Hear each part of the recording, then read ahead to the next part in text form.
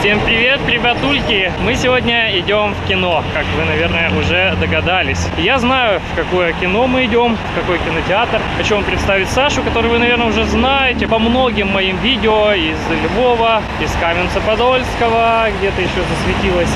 Где-то, ладно. Много где. Саша переехала в Киев. Ты когда-нибудь была в Киевском кинотеатре? Да? М, Но ты, наверное, не была в этом кинотеатре, Ну, в который мы сейчас идем, Конкретно да? в этом наверняка нет, потому что... А мы идем, на мой взгляд, лучший кинотеатр Киева, который называется Блокбастер, и у них есть там такой зал под названием IMAX. Это единственный IMAX в Киеве, к сожалению, на данный Или момент. всего один аймак? Да, всего один. И вот он здесь. И вот мы сейчас туда идем на допремьерный показ фильма, название которого вы уже знаете, А а, Саша Саша не нет. знает и даже не догадывается. А, Ты не догадываешься? А ну предположи. Марсиане? Нет, а, не угадала.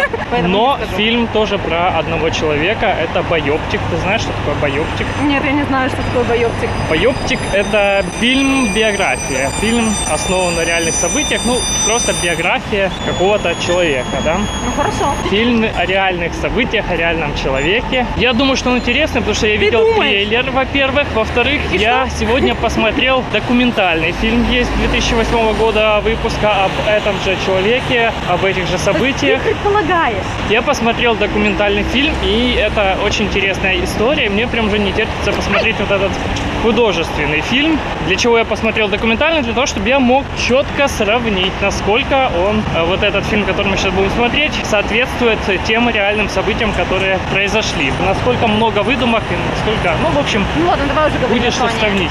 Нет, название ты узнаешь в кинотеатре. Окей. Не будем раскрывать этот секрет раньше времени, а с вами мы увидимся чуть позже. Ну вот, мы практически и пришли. Путь наш был долг. Все-таки Александра надела большие каблуки, и это не ускоряло наш. Мы, кстати, не опаздывали, если что. Да, мы... Александра пришла вовремя, даже Потому раньше. что я решил встретиться намного раньше, чтобы у нас был запас по времени. Короче, вот, Мегаплекс, кинотеатр, блокбастер.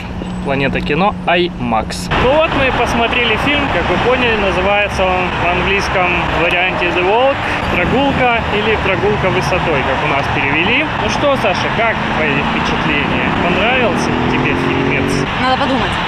Ну ты еще не подумала? Конечно, до понравился. Ну что тут думать? Я лично в детском, Отлично. я просто в детском восторге, насколько мне понравился фильм. Он действительно настолько позитивный. Вот я забыл вам сказать, что режиссер этого фильма, я не помню его имя, но он же снимал фильмы «Форест Гамп», «Изгой» и прочие такие вот жизненные новеллы. Этот фильм, он, ну, как бы напоминает, конечно, это не «Форест Гамп», но в целом вот ощущения от просмотра, они приблизительно такие остаются, очень позитивные. Фильм снят в таком, знаете, немножко комедийном ключе, хотя, ну, по сути, ничего такого смешного в этой истории нету, но вот снят он так вот, как будто бы это комедия. Могу сказать, что вот в сравнении с тем документальным фильмом, который я посмотрел, все довольно-таки точно передано. Единственное, что сама вот эта вот тема цирка, в документальном фильме ее нет. То есть я подозреваю, что это, возможно, такое художественная, придуманная вот история про цирк. Может, оно и было, но я говорю, в документальном фильме об этом вообще ни слова не было про цирк.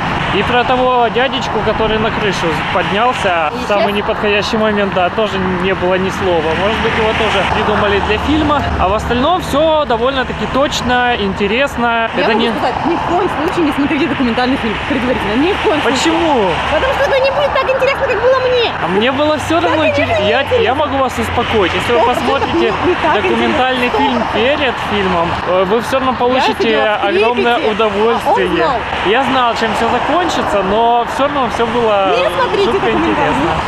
Ну да, наверное, лучше посмотреть сначала этот фильм в кинотеатре, а потом уже вы придете и захочете посмотреть документальный фильм. Ты хочешь посмотреть?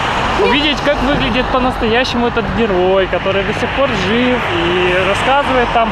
Там есть документальные съемки, фотографии настоящего, как это было Блин, он говорит, реале. да, я приду и посмотрю. Я Вот.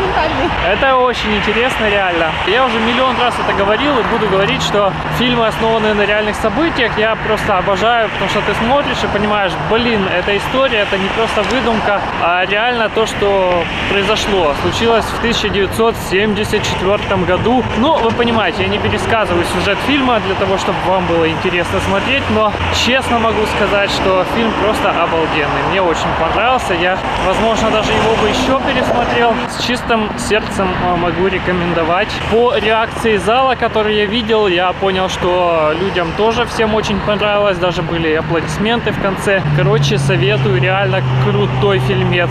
Даже несмотря на то, что это не какое-то там громкое название, не какие-то яркие постеры. Ну, то есть такой фильм, который вы увидите в рекламе и как-то, может быть, даже не обратите внимания. Но действительно, я вам советую, обратите на него внимание. Фильм крутой. Ну и делитесь своими впечатлениями в комментариях под этим видео. Ну и, конечно же, не забывайте ставить лайки свои и подписываться на мой канал. До новых встреч, до новых э, премьерных показов.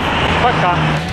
Спасибо за просмотр. Если вам понравилось, не забудьте поставить лайк и оставить комментарий. Буду рад, если вы поделитесь этим видео со своими друзьями. Также смотрите другие видео на моем канале и, конечно же, подписывайтесь на канал о жизни и путешествиях. До встречи!